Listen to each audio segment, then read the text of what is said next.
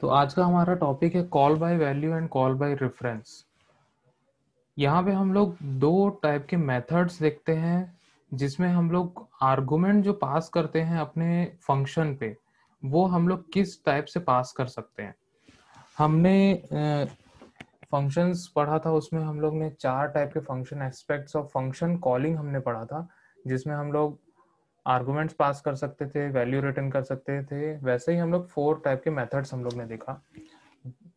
लेकिन यहाँ पे जो हम लोग आर्गुमेंट्स की बात कर रहे हैं, वो यहाँ पे किस प्रकार से हम लोग पास कर सकते हैं? या तो हम लोग डायरेक्ट वैल्यू पास कर सकते हैं, या तो रेफरेंस पास कर सकते हैं, वही चीज़ हम लोग यहाँ पे देखेंगे। और यहाँ पे हम लोग इसका डिफरेंस भी देखेंगे, दोनों में डिफरेंस क्या है। Are two methods to pass the data in into the function in C language. That is call by value and call by reference.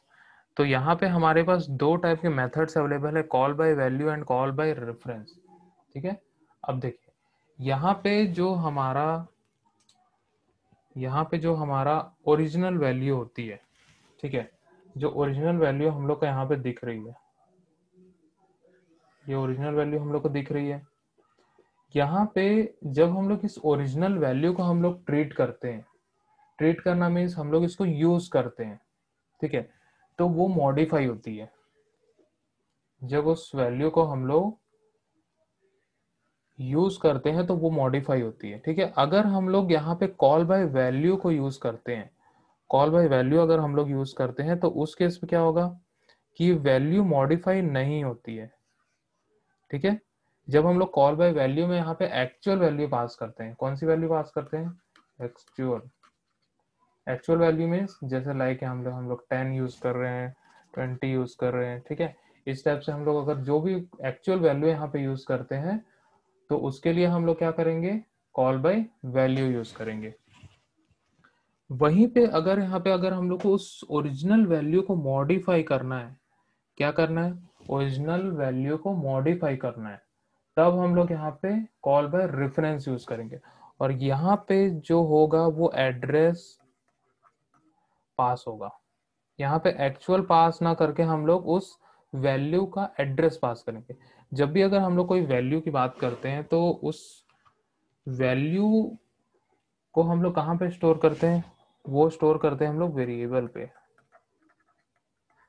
कहाँ पे स्टोर करते हैं हम लोग? वेरिएबल पे स्टोर करते हैं। और वो वेरिएबल जो होता है, वो मेमोरी में स्टोर होता है।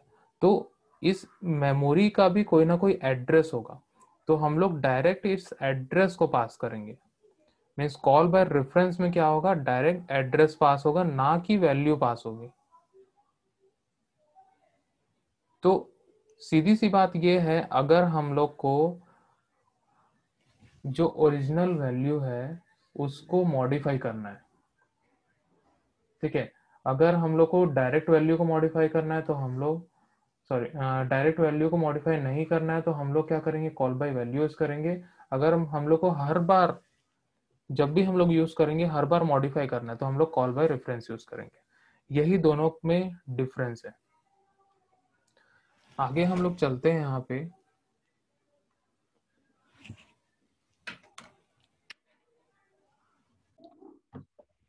यहाँ पे हम लोग देखते हैं call by value in call by value method the value of actual parameter is copied into the formal parameter. The value of actual parameter is copied into the formal parameter. Actual parameter और formal parameter हम लोग ने last class में देखा कि actual parameter जब हम लोग फ़ंक्शन कॉल करते हैं उस समय पे जो भी हम लोग वैल्यू को पास करते हैं वो एक्चुअल पैरामीटर्स होते हैं वहीं पे अगर हम लोग जो फ़ंक्शन डेफिनेशन के समय पे पास करेंगे, उसको हम लोग बोलते हैं फॉर्मल पैरामीटर तो जो वैल्यू हम लोग पास करते हैं एक्चुअल पैरामीटर से, वो कॉपी होती है फॉर्मल पैरामीटर में. In other words we can say that the value of the variable is used in the function call in the call by value method हम लोग यहाँ पे एक्चुअल वैल्यू पास कर रहे हैं, इसका मीन्स क्या होगा? कि यहाँ पे हम लोग मेथड यूज़ कर रहे हैं call by value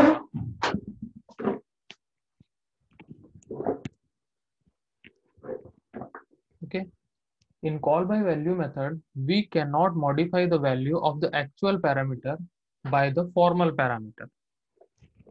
हम लोग कभी भी एक्चुअल पैरामीटर की वैल्यू को यहाँ पे हम लोग चेंज नहीं कर सकते। ठीक है? We cannot modify the value of actual parameter by the formal parameter मतलब हम लोग एक्चुअल पैरामीटर में जो वैल्यूज़ को पास करेंगे, वो वैल्यू जो है, वो फॉर्मल पैरामीटर कभी भी मॉडिफाई नहीं कर सकता। ठीक है, अगर मान के चलो वैल्यू टेन वहाँ पे मैंने पास किया, वो टेन को सिर्फ़ कॉपी करके यूज़ करेगा। वो टेन को कॉपी करके यूज़ करेगा। लेकिन वो एक्चुअल जो हम लोग वहाँ पे एक्चुअल डेटा पास किए हैं, जो वैल्यू पास किए, उसमें मॉडिफाई नहीं करेगा, वो कॉपी में मॉडिफाई करेगा। ठीक है, जैसे कि हम लोग मान के चलिए, हम लोग क्या करते हैं पेन ड्राइव में कोई भी फ़ाइल लिए। ठीक है पेन ड्राइव में कोई फ़ाइल कॉपी करके लेके आ गए। ठीक है तो हम लोग क्या करेंगे, सबसे पहले उसमें, उसको क्या करेंगे, अपने डेस्कटॉप में कॉपी कर ली। ठीक है? डेस्कटॉप पे जैसे ही हमने कॉपी किया तो ओरिजिनल फ़ाइल कहाँ पे? ओरिजिनल फ़ाइल पेन ड्राइव में। हम लोग ने उसका कॉपी बना लिया डेस्कटॉप में। ठीक है? जो एक्चुअल पैरामीटर है हमारा वो कौन सा है? पेन ड्राइव है। फॉर्मल पैरामीटर क्या हो गया? डेस्कटॉप हो गया। ठीक है? डेस्कटॉप में जो फ़ाइल रखी हुई है, उसको हम लोग मॉडिफाई कर सकते हैं। लेकिन जो एक्चुअल फ़ाइल जो पेन ड्राइव में रखी हुई है, उसको हम लोग मॉडिफाई नहीं करेंगे। ठीक है? तो यहाँ पे जो कॉल बाय वैल्यू जो होता है एक्चुअल पैरामीटर में जो भी वैल्यू पास करेंगे, उसको कभी भी मॉडिफाई नहीं कर सकता। पॉइंट नंबर थ्री है in call by value different memory is allocated for actual and formal parameters, since the value of since the value of actual parameter is copied into the formal parameter, ठीक है? अब यहाँ पे जो memory location use होता है, यहाँ पे जो मेमोरी लोकेशन यूज़ होगा एक्चुअल पैरामीटर और फॉर्मल पैरामीटर में, दोनों अलग अलग होंगे। अब एक्चुअल पैरामीटर में जहाँ पे फ़ंक्शन कॉल किया गया है, जहाँ पे फ़ंक्शन कॉल किया गया, वहाँ पे कोई मेमोरी असाइन किया गया होगा मतलब वहाँ पे एक वेरिएबल होगा। ठीक है? उसकी मेमोरी अलग होगी। और जब हम लोग अपने फ़ंक्शन में बनाते हैं, जो फॉर्मल पैरामीटर्स है वहाँ पे, उसकी मेमोरी अलग होगी, क्योंकि वो वो फ़ंक्शन के लिए लोकल वेरिएबल होता है। तो यहाँ पे एक्चुअल पैरामीटर और फॉर्मल पैरामीटर दोनों की मेमोरी लोकेशन अलग अलग होगी। ठीक है? इसको ऐसा समझते हैं हम लोग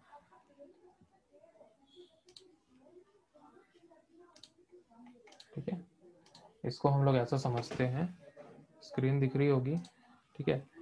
यहाँ पे मान के चलिए हमने बनाया, ठीक है इंट ए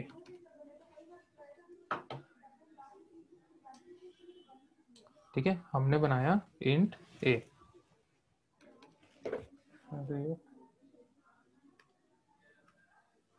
ठीक है, हमने इंट ए बना लिया यहाँ पे, ठीक है।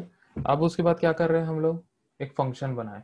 void, ठीक है एड और यहाँ पे हमने int a comma int b इस प्रकार से हम लोग ने क्या किया? एक फ़ंक्शन बना लिया, ठीक है? और यहाँ पे हमने वैल्यू को प्रिंट कर दिया। प्रिंट एफ़ से, और यहाँ पे हम लोग परसेंट डी वगैरह लगा के यहाँ पे हम लोग क्या कर दिए? ए प्लस बी इस प्रकार से हमने कर दिया, ठीक है? तो यहाँ पे ये क्या है? ये फॉर्मल पैरामीटर है। फॉर्मल पैरामीटर ठीक है? और यहाँ पे जब हम लोग इसको कॉल करेंगे, जो हमारा वॉइड मेन है, ठीक है?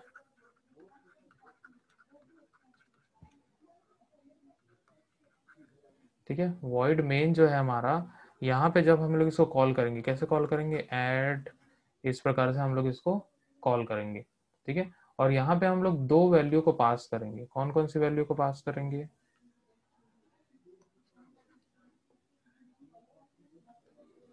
ठीक है? जैसे कि मैं यहाँ पे इंट ए कॉमा यहाँ पे दे देता हूँ बी ठीक है? ए में मान के चलो ए में टेन है, ठीक है?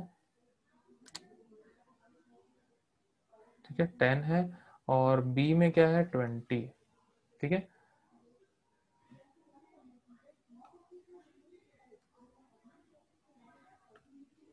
ठीक है? बी में ट्वेंटी मैंने इस ऐड को कॉल किया।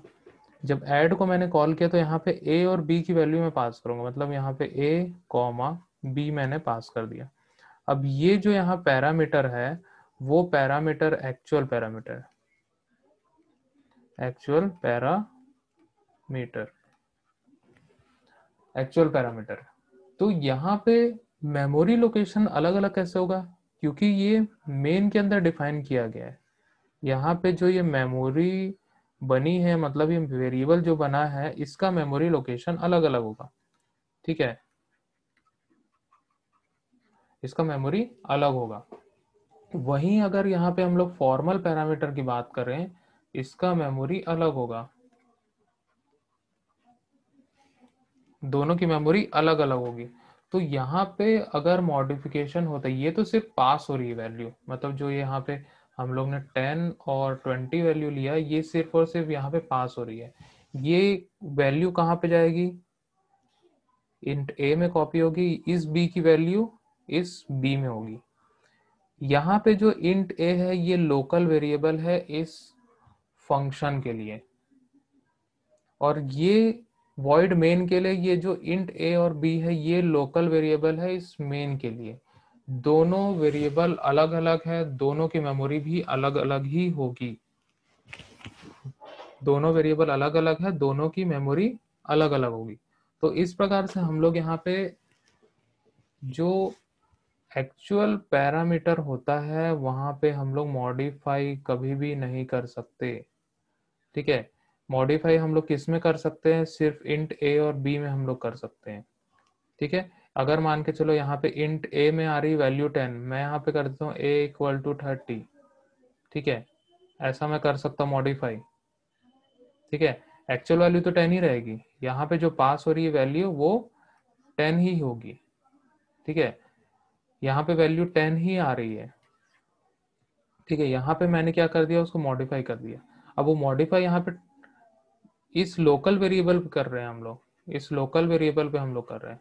ठीक है? वो यहाँ पे मॉडिफाई नहीं होगा। यहाँ पे थर्टी नहीं हो जाएगा, ये टेन ही रहेगा। ठीक है? दोनों की मेमोरी लोकेशन अलग अलग है तो हम लोग एक्चुअल पैरामीटर में कभी भी हम लोग मॉडिफिकेशन नहीं कर सकते।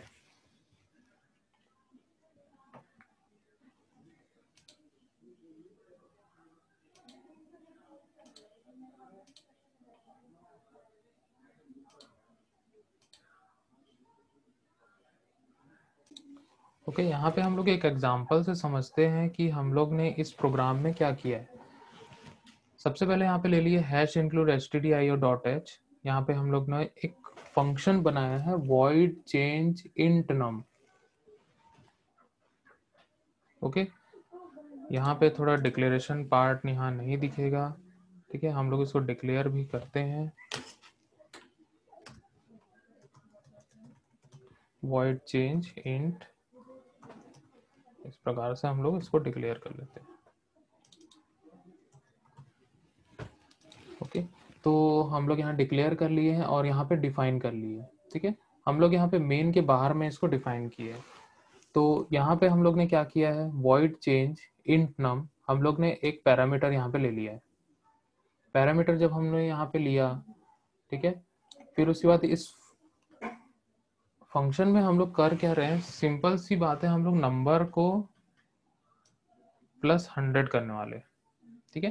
तो सबसे पहले यहाँ पे आ जाते हैं हम लोग इस मेन मेथड में मेन फ़ंक्शन में, ठीक है?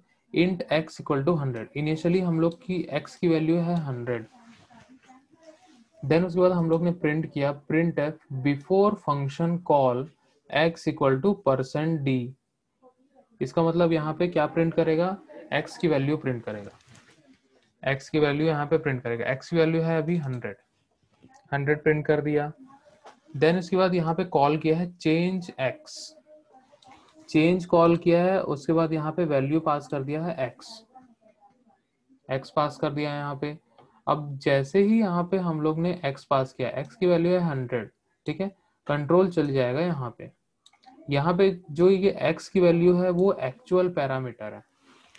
यहाँ पे जो x की वैल्यू है वो है एक्चुअल पैरामीटर यहाँ x की वैल्यू है हंड्रेड ठीक है? अब जैसे ही हम लोग इस चेंज फ़ंक्शन के अंदर में आते हैं, यहाँ पे इस नम की वैल्यू क्या हो जाएगी? हंड्रेड हो जाएगी.